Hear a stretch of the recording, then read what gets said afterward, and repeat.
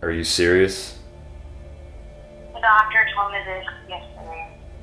This rare form of cancer is slowly taking over her whole body. What else did they say? That in order to save her, there's an experimental operation. Okay, let's do that. It's not that easy. Just for them to start her, going to be five. Can't you just ask your personal ATM? No, the says don't bring him into this. Oh, well, what do you want me to do? Well, Five grand. I, I don't just have that sitting around. well, I'm not going to just ask much for the money. How much is the total cost of everything?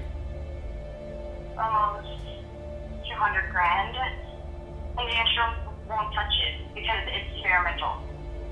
So you're just gonna drop this in my lap? I'm just telling you that our daughter is going to die if we would have. I'll see what I can do.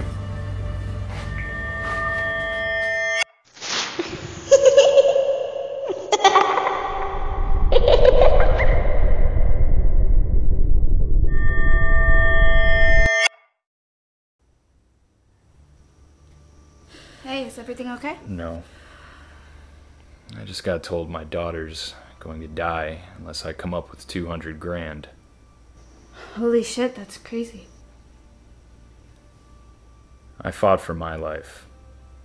She shouldn't have to fight for hers. What are you gonna do? Use my skills for something uh, other than stealing for the wrong side. I love your daughter just as much as you do. So tell me what you need me to do, and I got your back. I know you do. But what I'm about to do is going to bring back demons that I left behind. And I can't bring you there.